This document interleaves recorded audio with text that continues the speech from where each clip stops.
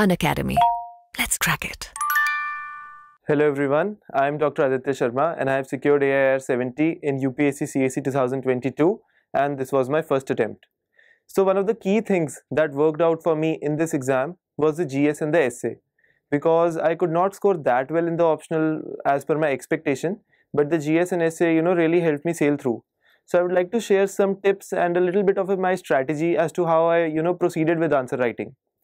So, I'll, first of all, I'll want to, you know, debunk a few myths that the, जो हमारे test series होते हैं, उनका कितना ज़्यादा वेटेज रहता है और क्या उनके कंपेरेबल आंसर्स आते हैं फाइनली कि नहीं आते हैं। So I will tell you I gave and I will tell you my scores and the final scores क्योंकि when I was an aspirant मुझे बहुत ज़्यादा इंटरेस्ट रहता था जानने में कि जो हमारे टॉपर्स है, उनका कैसे मॉक टेस्ट में मार्क्स आते थे और अल्टीमेटली उनका कैसे परफॉर्मेंस रहा था।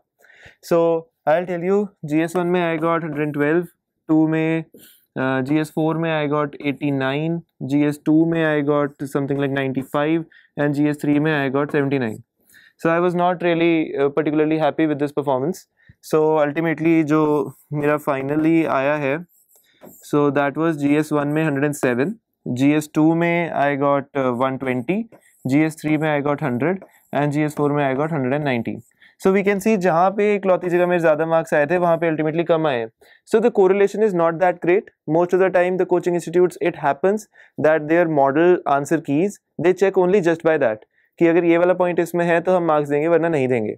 तो इसलिए you just you know stay confident you should have full ability in your answer writing for example Kanishka Kataria sir के मैंने ब्लॉग में पढ़ा था। He told his marks and he told me his final marks सबको मतलब blog पे। सो so, उससे मुझे पता चला था कि हमें इतना ओवरली रिलायंट नहीं होना चाहिए इन स्कोर्स पे और अपने कॉन्फिडेंस को इस बेसिस पे डिप नहीं कर देना देना चाहिए। सो दिस वॉज़ दिस अब मैं थोड़ा सा जनरल आपको अपना एक कोई भी एवरेज आंसर है उसका एक स्ट्रक्चर बता देता हूँ। उसमें है for example if this is our page है ना?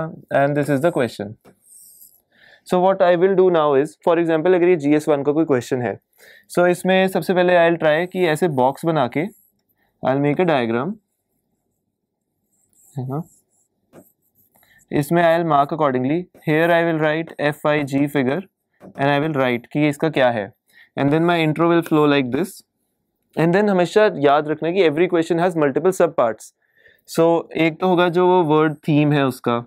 ठीक है? सेकेंड है उसके चैलेंजेस थर्ड है उसके सोल्यूशंस और एक होगा उसका वे फॉरवर्ड तो अब हम क्या करेंगे कि जो चैलेंजेस है, क्योंकि यहाँ पे ऑलरेडी एक डायग्राम है तो this would be in point form one two three with examples with examples with examples then we will move on to the solutions अब वो सोल्यूशन ऐसे होंगे कि that would be in an arrow form then they would be our way forward थोड़ा सा which would be mix with the conclusion so this was what my standard answer look like तो इसके अंदर कोई monotony नहीं है, कुछ चीज़ें पॉइंट्स में है, कुछ चीज़ें फ्लो चार्ट्स में है there is a diagram and it is all a G S one answer proper तो थोड़ा सा हमें दूसरी चीज़ पे ध्यान रखना है कि थोड़ा सा इंटरलिंकिंग करनी है आंसर्स की। अब वो कैसे करनी है? जैसे हम सबको पता ही है कि there is the PEST GEM approach which entails political economic है ना social technological geographical environment ethical and moral तो ये टोटल ये सारी अप्रोचेज हैं। तो वी विल ट्राई कि जितने मर्ज़ी आंसर्स हो, जिस मर्ज़ी जीएस के आंसर्स हो वी विल ट्राई कि हम इनको उसमें इनकॉर्पोरेट करें। जैसे एग्ज़ाम्पल मैं दे देता हूँ, इस बार एक क्वेश्चन आया था the lion and bull figure की सिग्निफिकेंस पूछी थी इन कल्चर एंड माइथोलॉजी और स्कल्पचर्स तो उसमें मैंने क्या करा कि आई न्यू सबको पता है कि हमारा अशोका पिलर जो है है ना, वो एक की कॉम्पोनेंट है लायन है इसके अंदर। तो सबसे पहले वहाँ पे मैंने ऐसे अशोका पिलर ड्रॉ कर दिया। For example these are the lions है ना? तो अब मैंने इसके अंदर थोड़ा सा साइड में अपना ये पेज मेरा चल रहा था। ऐसे करके बॉक्स था। इसके नीचे मैंने लिख दिया कि एथिकल पॉइंट कि bureaucracy should be like the fourth line of the Ashoka pillar It should be present to provide support, but it should not be seen, like the principle of anonymity. तो थोड़ा सा मैंने जी S one के एक history के question में मैंने ethics का पॉइंट डाल दिया।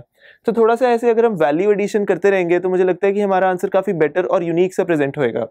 एक यूनिक बात और मैं जो स्टार्टिंग से कर रहा था कि अब मैं आपको बताया तो मेरा मेन आंसर राइटिंग का जो बल्क था it was completed in the three months between pre and mains तो उसके अंदर what I use to do was कि जैसे I might have shared it somewhere else in my previous video as well कि जैसे GS का एक मैंने, एक पिछले दो साल के एग्ज़ाम्स उठाए, उनको मैंने लिटिल बाय लिटिल पर क्वेश्चन सॉल्व किया। फिर उस क्वेश्चन को मैंने सॉल्व किया, उसके बाद उसका मैंने मॉडल आंसर देखा कि क्या मेरे में नॉलेज डेफिसिट है। फिर वो मैंने फुलफिल करा। फिर उसके बाद मैंने टॉपर्स की कॉपीज़ देखी, वो कैसे लिखते हैं?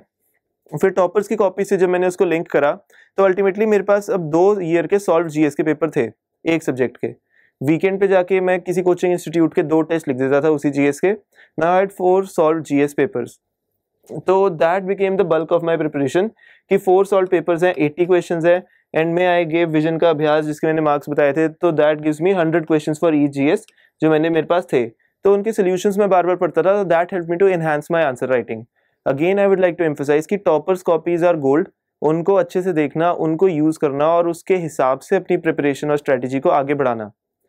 ठीक है तो जी एस वन का हो गया टू का थ्री के लिए मैंने क्या किया था कि मोटे मोटे जो थीम्स थे, उनको मैंने थोड़ा आइडेंटिफाई करा था। कि आई न्यू कि हर बार एक क्वेश्चन जैसे जी एस टू में ई गवर्नेंस पे आ ही जाता है कहीं ना कहीं। है ना, कहीं साइबर सिक्योरिटी पे क्वेश्चन आ जाता है। है ना, कि एक लेफ़्ट विंग एक्सट्रीमिज्म पे क्वेश्चन हर बार आता है। ग्रीन एनर्जी पे क्वेश्चन आता है। तो इन सब के लिए थोड़ा थोड़ा इंट्रो और कंक्लूजन का काम ना पहले से ही तैयार करने में बहुत बेटर है। कि जैसे ई गवर्नेंस पे आई न्यू कि अगर मेरे को लिखना है तो आई विल ऑलवेज राइट कि कंक्लूजन में कि नीति आयोग का है national digital governance framework policy तो ये फॉलो करना चाहिए। Hyderabad declaration on e governance है, ये फॉलो करना चाहिए। तो ये सारी चीज़ें भी बार बार रिपीट कर करके, किसी टॉपर्स की कॉपी में देख के, किसी मॉडल आंसर में देख के इनकॉर्पोरेट करके अपने टेम्पलेट्स आप क्रिएट कर सकते हो। सिमिलरली हमारे पास साइबर सिक्योरिटी है, उसमें भी हम डिजिटल गवर्नेंस का डाल सकते हैं। ग्रीन एनर्जी पे है, जो हमें पता है कंक्लूजन रेडी हम लोग कर सकते हैं कि इंडिया का रिन्यूएबल एनर्जी में ये रैंक है, इतनी हमारी आउटपुट है अभी एनर्जी की, पंच अमृत हम लोग फॉलो कर रहे हैं सीओपी से। तो ये सब इंट्रो और कंक्लूजन पहले ही रेडी रख लो, क्योंकि क्वेश्चन आने ही है। फ़ूड प्रोसेसिंग पे क्वेश्चन आ रहा है एफ़ सी आई रिफॉर्म्स पे क्वेश्चन आ रहा है तो हमें पता है शांता कुमार कमेटी हमने कोट करनी है। तो आप सब ये नोट करके रखो। आप कहीं पे भी देख लो, किसी भी आपको टॉपर कॉपी में कहीं रेफरेंस मिल रहा है कि यार ये चीज़ सेकंड एआरसी में थी। तो आप वहीं पे नोट कर लो कि हाँ यार ये वाली चीज़ के लिए सेकंड एआरसी की रिपोर्ट थी। अब पूरी ये सेकंड एआरसी की रिपोर्ट तो मैं नहीं पढ़ पाया था, मेरे पास टाइम नहीं था। इनफैक्ट नहीं पढ़ पाया था बिल्कुल भी। तो वो जो सेकंड एआरसी की रिपोर्ट थी, वो मैं कहीं कहीं कोट कर देता था, जहाँ जहाँ मुझे पता था कि एआरसी ने इससे रिलेटेड ऐसी वाली बात बोली है। और दूसरा मेरा था कि आंसर राइटिंग के लिए जैसे मैं अब लक्ष्मीकांत पढ़ रहा हूँ सेंटर स्टेट रिलेशन है, उसके अंदर उन्होंने चैलेंजेस लिखे हैं, उसके अंदर उन्होंने सोल्यूशन लिखे हैं। तो उसका भी मैंने फ्लो चार्ट पहले ही तैयार करके रख लिया था। जैसे जैसे ये है तो तीन में डिवाइड कर दिया लेजिस्लेटिव है ना? फाइनेंशियल एडमिनिस्ट्रेटिव इसके आगे लिख दिया कि ये ये इनके चैलेंजेस हैं। यहाँ लिख दिया सेंटर स्टेट रिलेशंस तो इनको हमने तीनों का ऐसे कर लिया। तो ऐसे ऐसे मेरे पास बड़े सारे रेडी फ्लो चार्ट्स पड़े थे कि पेपर में एक बार क्वेश्चन आए, मैं सेम का सेम वर्बटम बना दूँगा। थोड़े एथिक्स के भी डायग्राम्स पहले से, जैसे विशाखा यादव मैम है, उन्होंने एथिक्स से थोड़े से नोट्स बना रखे हैं। तो उनकी भी कर लो। जैसे अगर प्रोबिटी पे क्वेश्चन आए, हमें पता है ये ऑनेस्टी इंटेग्रिटी और इसके बीच का मिक्सचर है। तो ये हमारा प्रोबिटी है। सिमिलरली एथिक्स का एक थोड़ा सा मेरा मेरा एक पेट सा डायग्राम था कि ये था। ये है वैल्यूज़ है ना? बिहेवियर कंडक्ट कैरेक्टर और इसके अंदर ये वाला जो पाए है, ये एथिक्स का है, ये वाला पाए है जो मोरालिटी का है। थोड़ा ऐसे करके कुछ कुछ डायग्राम्स आपके पास हमेशा अपने टिप्स पे होने चाहिए। एथिक्स के लिए भी मैं एक स्पेशल बात बता देता हूँ कि जैसे केस स्टडीज़ होती थी तो उसका हमें फॉर्मेट में काफ़ी बार कंफ्यूजन आती है कि हाउ है ना we should approach the case study तो उसके लिए मेरा था कि अगर बहुत ही ज़्यादा लंबी केस स्टडी है, जो हम सिर्फ़ पेपर में एक ही बार पढ़ सकते हैं, और इस बार का एथिक्स का पेपर स्पेशली लेंदी था and it could be so in the future also so we should keep that in mind तो उसके लिए हम क्या करेंगे कि ऐसे केस स्टडी है ना तो ये क्वेश्चन यहाँ पे ख़त्म हो गया। अब यहाँ पे मैंने ऐसे करके बॉक्स बनाया, यहाँ पे हेडिंग है स्टेक होल्डर्स जो जो नाम मैं ऊपर पढ़ रहा हूँ, वो वो साथ साथ में मैं यहाँ पे स्टेक होल्डर्स के नाम लिखी जा रहा हूँ। अब now after I am done reading it once I have the name of all the stakeholders तो वो स्टेक होल्डर्स जब मुझे पता है तो मुझे पता है कि पूरी स्टोरी क्या थी, मुझे दोबारा पढ़ने की ज़रूरत नहीं है। और इसका एक और बेनिफिट भी है, मैं बताता हूँ। तो स्टेक होल्डर्स में हमेशा ना एक चीज़ ऐसे कर देना कि सोसाइटी भी एक स्टेक होल्डर है इन्वायरमेंट भी एक स्टेक होल्डर है। तो थोड़ा सा ना अच्छा ब्रॉड ऑप्टिमिस्टिक सी फीलिंग आती है। फिर यहाँ पे आपकी केस स्टडी की इंट्रो हो गई। फिर इसके बाद जब आपसे पूछा है इन्होंने कि क्या आप कैसे what are the options available to you so it could be either yes no है ना, और आपका यूनिक सा।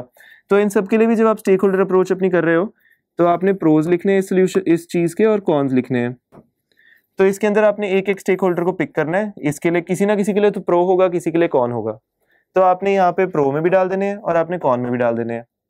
तो आई थिंक थोड़ा सा अगर आप कैलिब्रेट करोगे अपनी आंसर राइटिंग को, अपने प्रेजेंटेशन पे काम करोगे तो I think answer writing is very doable but उसके लिए है कि थोड़ा सा टाइम देना। मैं ज़्यादा टाइम नहीं दे पाया था, फिर भी I could score so well तो अगर आप थोड़ा सा स्टार्टिंग से ही इस बात को इम्प्लीमेंट करने लग जाओगे तो I think that would be wonderful और एक एथिक्स में एक बात और याद रखना कि जितने ज़्यादा हम लोग सिविल सर्वेंट्स की एग्ज़ाम्पल याद कर सकते हैं ना स्मिता साबरवाल मैम प्रशांत पांडे सर है ना, ये सारे तो ये आप बहुत जगह यूज़ करो और आपको बहुत बढ़िया रहेगा। तो आई थिंक आंसर राइटिंग के लिए यही है। तो आप बस प्रैक्टिस करते रहो टॉपर्स कॉपीज को फॉलो करो पी वाई क्यूज अच्छे से फॉलो करो, उनके मॉडल आंसर से चेक करो and remember that you are your own best guide आप अपने पैरामीटर से इम्प्रूव करोगे, आप रिज़ल्ट की चिंता नहीं करोगे। यू विल ट्राई कि आपको अपना स्कोर पिछली बार का बीट करना है। और अगर बीट नहीं भी होता है ड्यू टू सम रीजन की कहीं चेकिंग का वेरिएशन होता है but your presentation has been better each time जब मैं एथिक्स का करता था केस स्टडी में स्टार्टिंग में मैं इंट्रो नहीं लिखता था, सीधा शुरू कर देता था। फिर जब इंट्रो का पता चला लिखनी है, तब मेरे को पता नहीं था कंक्लूजन भी लिखनी होती है। बाद में कंक्लूजन भी लिखनी स्टार्ट करी। सो है ना it is all a process it might take time but ultimately you will be there बस just be on the right track ठीक है? आई एल ट्राई कि मैं अपने जो सॉल्व पेपर्स है मॉक पेपर्स है I'll request N academy की कहीं पे वो पोस्ट कर सकें in case that is possible वरना otherwise I will be sharing it on my Telegram channel so है ना all the best everyone thank you so much